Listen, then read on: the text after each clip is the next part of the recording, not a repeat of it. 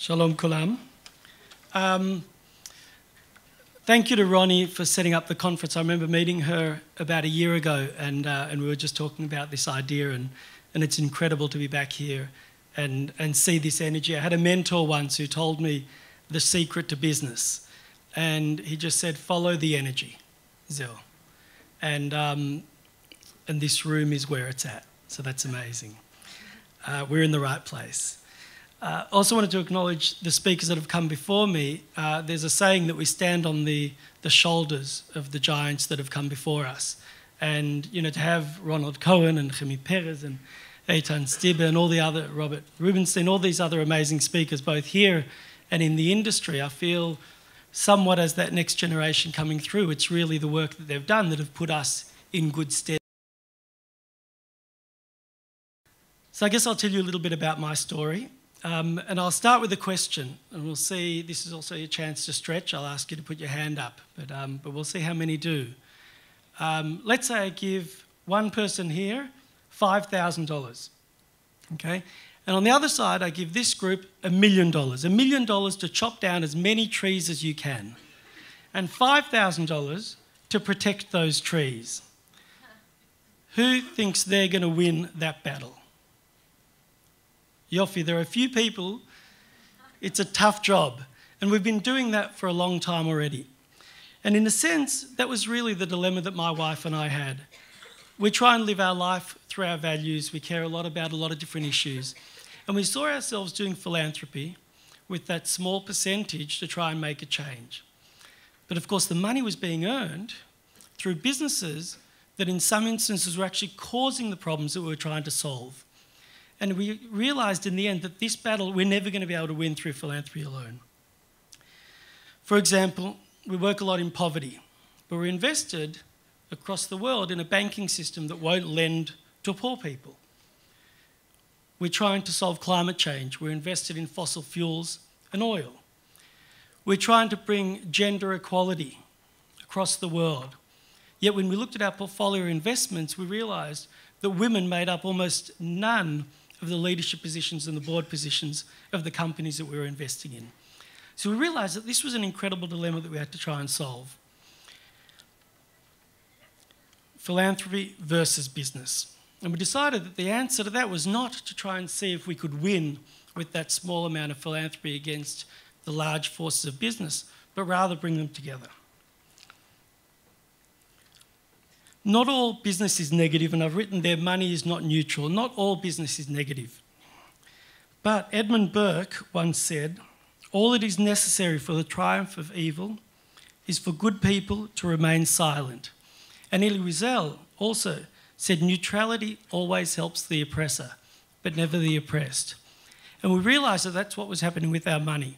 Some of our investments were actually causing harm, but even those that weren't causing harm were not actually supporting.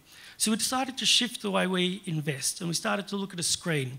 And instead of a negative screen, we actually created a positive screen. Instead of companies that are not doing bad, we asked the question how can we invest in companies that are actually doing good? It wasn't an easy process, it wasn't fast, it's complicated, um, it's delicate. There are family issues. We come from a family of wealth, so we had to deal with family politics with values that aren't shared across all the family necessarily. Sometimes you have exits that you're waiting for. Sometimes you own a building, you can't just sell the building immediately, you can't sell your share of an investment. So, all these things took a long time. You've also got pipeline opportunities. When we started this uh, nearly 10 years ago, there wasn't much in the way of a positive impact investment pipeline. So, we had all these problems that we had to try and deal with. And 10 years down the track, or almost 10 years down the track, we're nearly there. So let me tell you, checking my time, let me tell you a little bit about the process. And as I tell you a little bit about our process, I'm hoping you can take a little bit of this on for yourselves. And by the way, this is not just for people with great wealth, this is for everyone because everyone, whether you've got wealth to invest or you're just spending your salary, every dollar that we spend is a vote. Every dollar that we spend goes to something, whether we buy Coca Cola, whether we buy McDonald's, whether we buy an organic uh, hummus uh, pita in Israel. Um, so the first part, this is the simple two-step process to becoming an all-in impact investor, and we term it all-in. Ronnie, when she introduced, spoke about this 100%, and I'll talk a little bit about that. But we sort of consider it an all-in. Right? From our perspective, all of our capital is invested with this same lens. It's not just a portion of it, it's the entire thing, and it's not just our philanthropic capital, it's our entire wealth. So we're going to Bali on a holiday in a couple of months if our portfolio doesn't do well, that jeopardises the holiday. So we, we can't afford not to do well on this. So, what's the process of becoming an impact investor, an all in impact investor? The first one, which I think is true um, for everyone, and, and maybe we don't focus enough on this in schools, is to know who you are. What do you believe? What do you value? What do you care about? What are you passionate about? What do you love doing? What are the causes that you're trying to influence? And most people in this room have started to ask this question, but I'd encourage you to sit down, whether it's with your family or your, your investment advisors, and work through a process of actually coming up with the things that you really care about. Who are you? What's the intention? Because without intention, uh, the impact is fleeting. And then step two is a really simple process. It's taken us nine years and we're about a third of the way there. Okay? Step two once you understand a little bit about who you are and what you're trying to achieve, how do we align our actions with our values? And for us, it was also how do we align our assets with our values. And for us, we came up with these few different questions, which we start as that screen. Remember, I mentioned before you begin investing, or sorry, we, we, we change the way we invest, the paradigm of our investing, to use a different screen. So before we invest, we look at these questions Is it good for people? Is it good for the environment? Is this the world we want to create, the world we want to leave to our children? And the last one is a question, a financial question, but also a very personal question how much is enough? And for my wife and I, we even sat together and kept a budget and tried to have a look. What do we need to live the life we want to live? That's a very interesting question because for some people, the answer of how much is enough might be never enough. But I think that's one of the diseases that we have in our society. We have to start making a decision on what it is that we want. And only when you ask yourself those first questions can you ultimately answer that. For us, we came up with a number as well as a number to run our business and realised that that was the minimum targeted return. Below that, obviously, we were unsustainable. Above that, we were above sustainability. Um, and with that, by the way, we're not against above sustainability because, of course, if you make more through positive social and environmental investments, it just means you can invest more or you can donate more on the other side. You can do more impact. So we definitely try and outperform our minimum target, but we know what our minimum is, and that is crucial.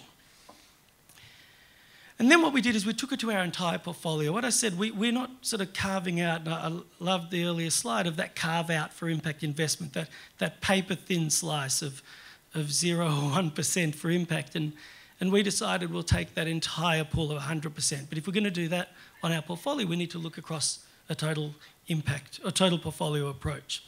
So what I've done is I've put it up here. I'm not going to go through each of them. But what I've tried to do is give examples of a few different asset classes and a few different examples of where you might find those impact investments. And on the end, uh, specific examples of some investments that you could make in each one of those. In cash, ask yourself which bank is the bank that you want to invest in? Which bank is most aligned to your values? And my, my, my question to you is not, it's not, are your values aligned with my values? Each one of us will come up with our own. If you care about women, if you care about Israel, right, where does that fit into your investment strategy? If you care about peace, if you care about um, education, all these things will fit into your strategy. The question of going to impact investment is firstly asking, what do you care about? So in this particular case, we looked at the banks that we were putting our money in, our term deposits, and started choosing the community-based banks, the cooperative banks, the banks that were aligned with our values. On bonds, we heard Sir Ronald Cohen talk about social impact bonds, an incredible, incredible opportunity um, for investments. There are green bonds in Australia. NAB is one of our big banks, like Apoalim, and they launched a couple of months ago a green bond. I was sitting with one of the um, one of the leaders of the bank and talking about impact and trying to convince him that this is a good idea. And I said, you know, you can do green property right, or renewable energy. He said, we already do. He said, We've got over a trillion dollars of assets. I'm sure we've got five or 10 billion that would count in your impact. I said, You probably do, but you couldn't tell me which ones they are. They're neither intentional, which is what Abigail was talking about before, and they're not measured. So he went away and he trumped me absolutely by launching this green bond with 18 wind farms around Australia.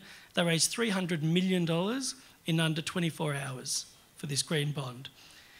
In seed and venture, we've heard about it. Peres has mentioned all the opportunities in Israel as a startup nation. Private equity, you can find things like B corporations. If you haven't heard about it, it's incredible. You've got to write it down, you've got to Google it. B Corporation is basically a stamp on a business that shares the values of the people in this room. It's incredible. And it reduces our due diligence time immensely. So instead of trying to work out whether this, value, this company is aligned, we just look and see are they a B corporation? If they are, they're in. You've got public equities, and you can see in there things like Tesla. We need more sustainability indexes, we need more impact indexes. Green property funds. We started a, a fund in Australia called IIG Impact Investment Group in the last two years, and this is all about 100% invested in impact. We've raised over $200 million we have over $200 million of assets with over 200 investors. And this is mainly through green property, and now we're starting to expand to renewable energy. This is enormous, and anyone who says to me you can't find opportunities across your portfolio, you're dreaming. And the last part is it's not just us. There's a whole global group, a global network of people called the 100% Impact Network. And these are people like us who have committed all of our wealth to impact. We've sort of said, although it's a journey and it'll take us some time, this is the target. The target is not a little bit, it's everything. And this group of, at the moment, over 60 people, you know, over $3 billion together invested in impact so far, and a whole lot more committed. A lot of us are still on our journey um, and growing all the time. This group is the group that I'm encouraging each of you to join, whether you've got a little bit or a lot to try and see whether we can come together and actually make this make the energy in the room the energy of the world. So join me in 100%. Thank you.